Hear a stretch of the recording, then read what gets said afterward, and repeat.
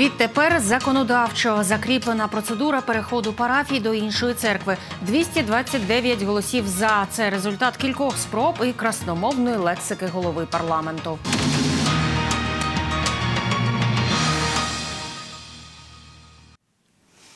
Про це і значно більше ви дізнаєтесь у найближчі півгодини у часі новин, де готові представити вам огляд ключових подій цього четверга, 17 січня. Не з першої спроби, утім, проголосували. Верховна Рада юридично врегулювала питання про перехід релігійних громад. Нововведення прописали у законі про свободу совісті та релігійні організації. Кілька разів спікер виносив законопроект на голосування, і кілька разів воно було провальним. Однак, врешті, на табло таки з'явилася цифра 229 із необхідних 226. Під час обговорення в сесійній залі точилися запеклі дискусії. Хто був проти і як спікер вгамовував противників, розповість Анна Мірошниченко. Свіжа редакція законопроекту про перехід релігійних громад від комітету вже в сесійній залі. Опозиційний блок вишукувався перед трибуною. Спікера не спинити. Я хочу всім повідомити, я зайшов в розгляд питання. Автори законопроекту вже заходилися пояснювати суть. Це закон для всіх релігійних громад. За бажанням громада може ухвалити рішення про перехід до іншої релігійної організації. Зробити це можна на зборах шляхом голосування. За це рішення мають висловитися не менш як дві третини громади. І поки процес переходу не завершиться, законом заборонено відчуження майна релігійної організації. Частина громади, оця одна третина, та, яка не згодна на е, перехід.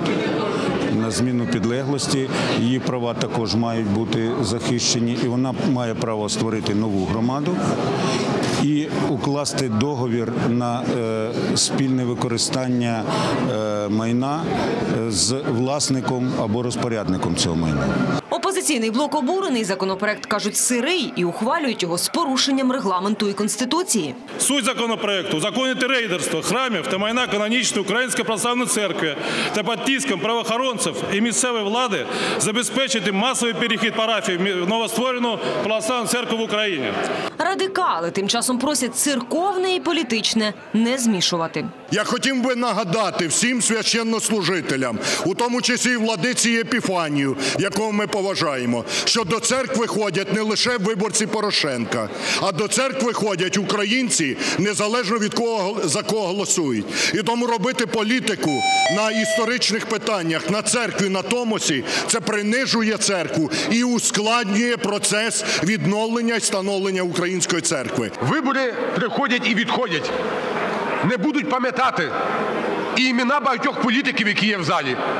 Але церква, яку чекали 300 років, вона лишиться одним з фундаментів української держави. І сьогодні ми причетні до цього історичного рішення. Давайте відставимо політичні дебати. Давайте відставимо будь-які політичні суперечки. Блокувати трибуну опоблоківці не стали, але і без того ухвалити рішення з першої спроби парламент не зміг. Забракло голосів. Блок Петра Порошенка 83. Народний фронт 65. Це кожен буде нести відповідальність за це голосування перед громадою. Я ставлю на голосування пропозицію повернутись до голосування. Частина президентської фракції не стала голосувати, пояснювати свою позицію або не схотіли, Хоча б одну хвилину. або пояснили, як змогли. Що стосовно віри, що стосовно духовних переконань народних депутатів, е, тут у нас є в групі вільне голосування. Я хочу сказати, що це особиста, під- підкреслюю, особиста позиція кожного депутата. Попри позицію деяких, ухвалити рішення таки вдалося. Прошу голосувати, прошу підтримати. Відійди від мене. Нечисть, відійди від мене. Прошу голосувати, прошу підтримати. Вітаю, друзі! Опоблок не лише відійшов від спікера, а взагалі з залу вийшов на знак протесту. А його керівник слова спікера прокоментував так. Он про себя это сказал. Ну, я, я, ну, я думаю, что э, прежде всего надо к себе это, обратить внимание на это. Но если назвал так, назвал так, это его дело. Анна Мірошниченко, Юрій Усік, Олексій Тищенко, п'ятий канал.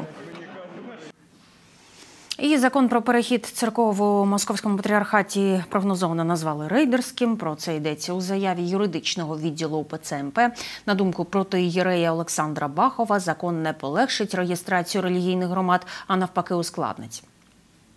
Ми бачимо, що прикриваючись, начебто, благою метою полегшити релігійним організаціям визначати свою підлеглість, вони насправді ускладнили процедуру реєстрації статуту релігійних організацій та надали повноваження реєструвати релігійні організації за політизованому органу Міністерству культури. Тому не виключено, що у громад УПЦ виникнуть проблеми з реєстрацією статутів. А тим часом громади Хмельниччини приєднуються до новоствореної православної церкви України. Лише в Ізяславському районі парафіяни збирають підписи у п'яти громадах і вже отримали благословення від місцевого митрополита. Думки вірян збирали кореспонденти п'ятого.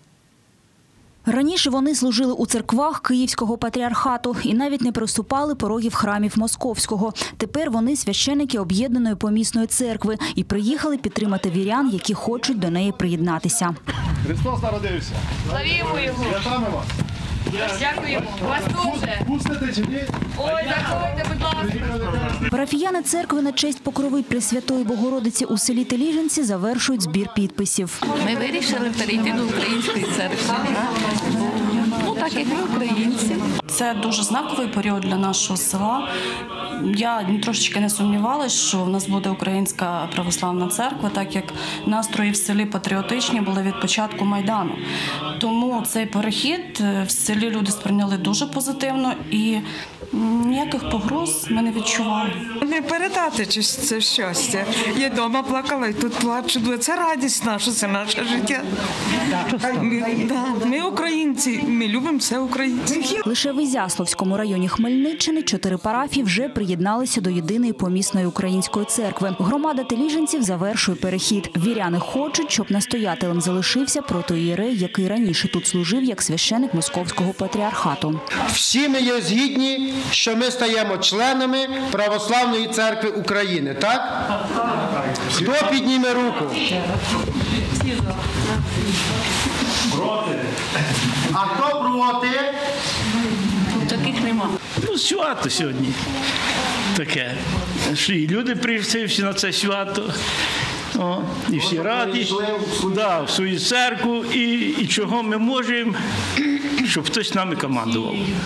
Нами тільки Господь може командувати. Благочинний району запевнив парафіян, як проводити богослужіння, вони вирішують самі. Нічого не міняється в самій структурі вашої громади. Залишається все як було. Ви вибираєте мову, на якій ви будете служити. Служили на слов'янській, подобається вам на слов'янській, знаєте на слов'янській, служіть. Це вправі вашого. Ви самі самі вибираєте, як вам далі служити.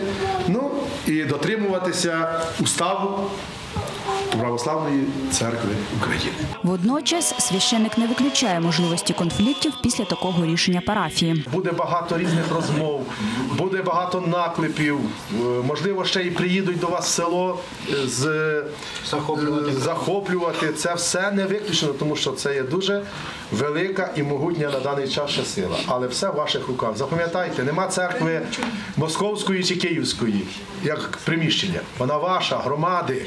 На Хмельниччині три з половиною сотні парафій донедавна підпорядковувалися московському патріархату. Півтора десятка вже заявили про перехід до помісної української церкви. За Україну, за.